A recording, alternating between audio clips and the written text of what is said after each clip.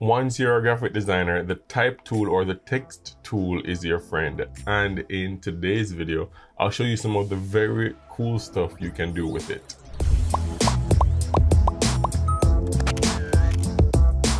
There are two main ways to create text in Photoshop. The first method is to click anywhere in your project with the type tool selected, just a regular cursor click or you can draw a text box anywhere in your project to start writing text. There are also other cool things you can do with any kind of text you create as I mentioned earlier. But before you can do all those cool stuff, you have to understand how the type tool works and the features that surround it. So with all that said, let's get straight into Photoshop. Alright, so here we are in Photoshop and I already created a blank canvas and I already have my type tool selected by hitting T on my keyboard. And as I mentioned earlier, there are two ways to create text, right? You can either click on any portion of your project just like this. See that? And it gives us some placeholder text. Or you can go ahead and just draw a text box, right? I'm just going to click and drag and draw a text box and this box will be populated with placeholder text in the newer version of Photoshop. You can also turn it on in the previous versions if you'd like, right? And I can obviously size this however I want. And as you see, as I'm sizing this text box here, it's shifting the text to better fit within that text box, right? All right, so there we have our text box version, our text box method and our just our clicking method with the cursor. All right, now let me go ahead and just turn this off and let me just create some new text, right? Let me go ahead and type learn, learn, share, photo, video. Let me make this bigger, right? Oops. All right, this is our text that we're working with today, or for now in this portion of the tutorial. And one of the first cool things that I want to show you guys that you can do within Photoshop on your text layer or your type that you typed is that you can increase the leading or the tracking, right? And you do that by going to window and just clicking character, right? And it's right here. And I already have mine over in my properties tab. If you enable your properties tab, whatever kind of layer you're working on, whether it's a text or a shape, you'll automatically see the properties under that properties tab, right? And in this case, we have our character options over here on the properties tab and we also have paragraph options and type options, right? You've heard me speak about the properties tab before, but if you don't have yours open, you can find it just the same as the character tab by going to window here in Photoshop and then just going down to properties right here, right? All right, so here's the text that we're going to be working with. And if you were to adjust the leading or the tracking, right? The leading is the vertical space between lines of text. So if I want to adjust the leading here, I'll just like duplicate this, you know, create a second line of text, right? Just so we have multiple lines for the purposes of this tutorial. And then if I were to increase the leading over here, right now it's on auto. If I were to go to something like 30, you see that the vertical space between the lines is being adjusted. If I were to go even more to 60, you can see what's happening, right? And if I were to go like less than auto or less than, see that? I'm at 16 right now. If I go down to like seven or four, you see what's happening, right? So that's the leading let me just undo that. Mm, control and Z to undo as you know, right? All right, let me just set this back to auto and then let me just delete these two lines and let me show you the tracking, what the tracking does, right? What tracking does is it increases the spacing between a group of letters, right? So if I were to just have my text layer selected, this text layer, the learn share photo video, which it is, I can just go ahead to my character tab over here and just increase the tracking. See all these figures here? If I were to do like 50 or 100, you see it's increasing the space between the groups of letters, meaning the learn is one group of letters, the share is another group, etc, etc, right? And here's a funny story. Before I found out about the character tab earlier when I was using Photoshop, I literally used to just come in between the letters. Let me set this back to zero I literally used to just come here in between the letters and just go like L space E space A space R space. That's literally how I would space letters earlier in my graphic design journey. And it worked. Nobody knew that's what I did, but it worked, right? And using this kind of um, tracking feature gives a really cin cinematic look, a more professional look, and just a cooler look in whatever you apply it to if you apply it the right way. All right, and next I want to show you is kerning. Oops, what's happening here? kerning and kerning is just the space in between like each individual letter right so if you wanted to um and the shortcut for kerning is using the Alt key and the left or right arrow keys on your keyboard, right? So if I were to come here, click in between the R and the N here, and just go Alt and the left key or the right key, you see it's increasing the space right there. See that?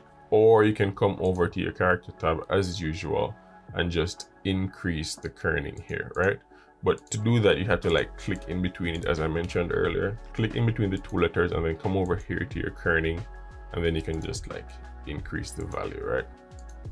That way you can make sure, like for example, if you're designing a logo, you can manually input your kerning values to make sure that every single letter in your logo, if there's text in your logo or in your design in general, it is all equal space throughout, right? And I also want to show you horizontal and vertical scaling, which is pretty much straightforward. You'll almost probably never use it, but you can like increase the vertical scaling right now. This is at 100%. If I were to go 150, it would just stretch my text as you're seeing here, right? It's literally just stretching the text. Then if I were to put this back to 100, and then increase the horizontal scale, you know what it will do, right? It will literally stretch my text, like make give it more spread, right? All right, so that's the cool character tab. Ooh, not so much. Let's set it back to 100. That's the cool character tab features that you can use, right? And obviously, you can choose your font and then like select the different weights of your font here, right? So I'm using circular standard here and it has book, it has bo book italic medium different weights etc right? Bold and then black which is like thicker than bold right?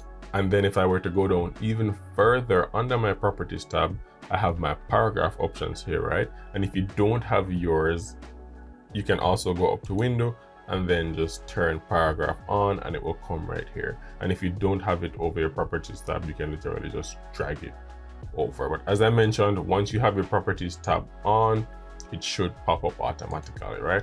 Properties tab is a very cool feature to enable in Photoshop, right? And then you can align it center, obviously. All right, let me change this text here. Let's just use some placeholder text for this demonstration. Let me size it down. Right, I'm using a text box as you just saw and then if I were to zoom in back some more, oops, turn off scrubby zoom. If I were to zoom in, right now it's aligned centered. If I were to like align it to the left over here, you see that everything is aligned to the left, obviously. If I were to align it to the right, you know what would happen. If I were to align it justified, like justified last left, See justifying everything mean that all the lines will fill the width of my text box, but the last line will be aligned to the left, right? If I went justified centered, it will um, justify last center, it will put the last line in the center while everything above it is justified, filling up the width of the text box, right? Like so. And then if I were to do justified last right, you know, the reverse of a left, obviously. And if I were to justify everything, it will just like spread all the text to fill the text box, every single line, right? And here's a key tip. You can only justify text that is within a text box, right? You can't justify text that is not within a text box. Let me show you what I mean. So if I were to come here and have like multiple line, multiple lines of text, right? Let me just duplicate this. Oops. Right? If I were to have multiple lines of text here, right? And I want to justify this without like using the text box creation method, right? You realize that the justify features are all grayed out, meaning you can't use them, right? So that's also a key tip to note. And let's go back to our previous paragraph. If you notice, um, well, right now it's not hyphenated, but under your paragraph as well, you can go ahead and click hyphenate and it will hyphenate the letter, the words that are at the end or closer to the edge of your text box, right? So like longer words like this right here, if it if the hyphenate feature is checked, it will do this and hyphenate like you see in some columns in articles and newspapers, right? But if you uncheck that, it will push everything down to the next line instead of hyphenating it. And I personally prefer to not hyphenate. It just looks cooler to me, but maybe your design or maybe your client prefers hyphenation. So at least you know how to do it, right? And of course, you also have your type options below that. You can go all caps by just clicking this button right here. You can do all caps, you see what's happening there, right? You can do um, uppercase, lowercase, or small caps is what they call it right? See that every first, I think every first, well, let me type something and show you. Or let me go back to my, um, let me go back to the previous text I had here. And let me show you with the all caps, see that? And then uppercase, lowercase, it's making the first letter of every word uppercase, right? See that?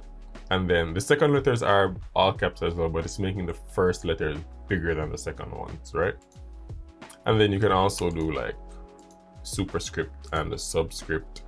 That's like if you're writing something like um, 2 to the 10th power, you can just like select the 10 and then just go over to superscript and it will push the 10 up top, right? If you're doing subscript, it will do the same thing. See that?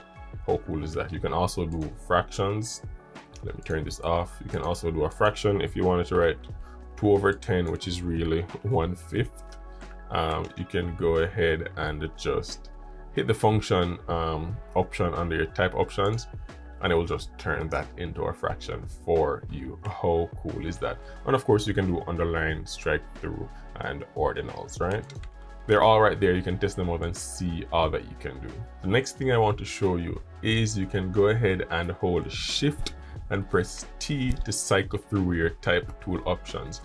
Or you can go ahead and right click on the type tool from your toolbar on the left hand side of Photoshop and you'll notice that you can um, select the horizontal type tool which is the default or you can do a vertical type tool or you can do vertical type masks right I mainly just use the vertical and horizontal types if I wanted to type something like learn share but like vertically right See that? How cool is that, right?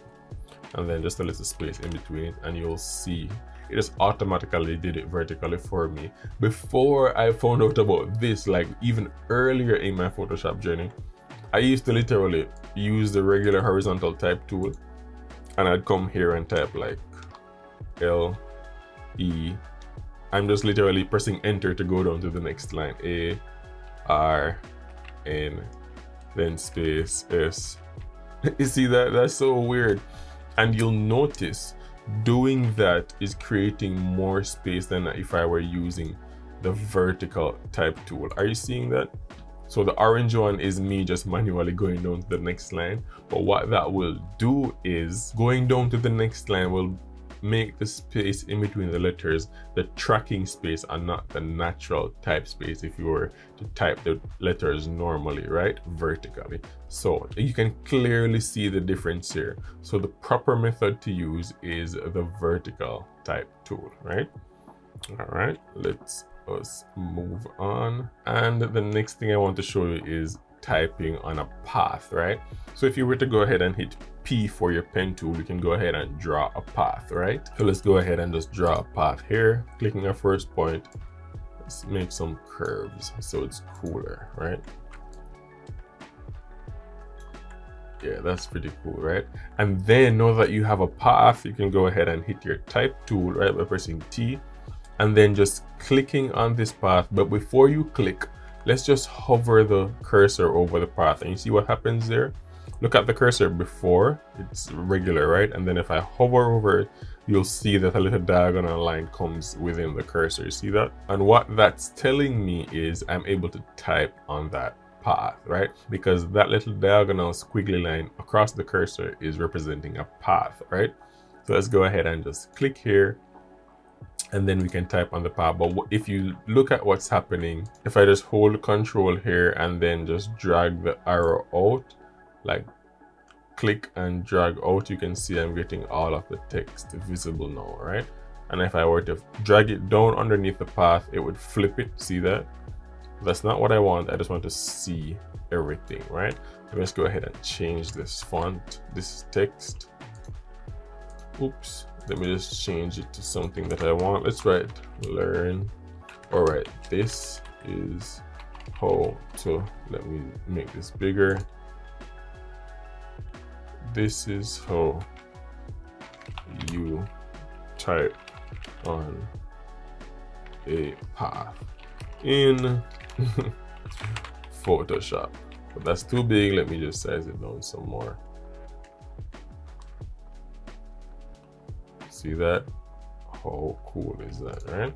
And there you've just typed on a path, right? How cool is that, guys? How cool is that? I remember when I hit control on my keyboard or command if you're on a Mac, what I when I clicked the arrows, I cho chose the arrow that was pointing to the left, right? And I just dragged it out to the right, right? All right, let's go ahead and do another path or type on another path.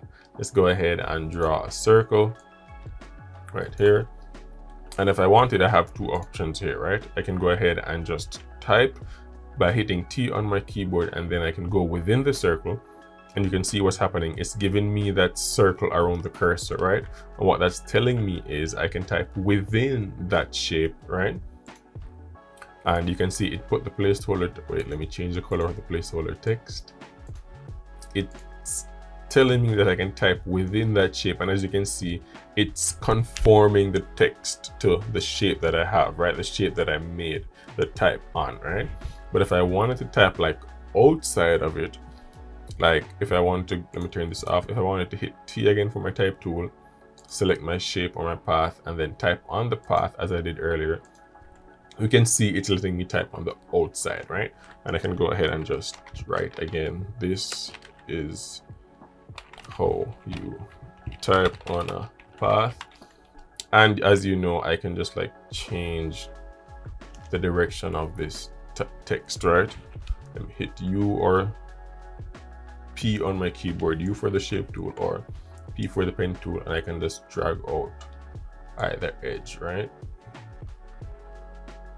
i can twist around or i can bring it on the inside of the path like so right this looks cool. I like this one here. All right, let me just adjust it. All right, and then I can just increase the size by hitting Control and T, and then I can just like make the text bigger so it fits like outside of the path, right? How cool is that? But that's not what we're doing today. Let's focus. let me turn these off and here is my question of the day to you guys with all that we've done here today have you seen it before is it the first time you're seeing it and if any of this helped you are you ready to start applying these cool features that we discovered today and start getting more creative with your typing in your designs? Be sure to let me know in the comments below. And thank you thank you so much for watching. Once again my name is Cjam and I will see you guys in the next video.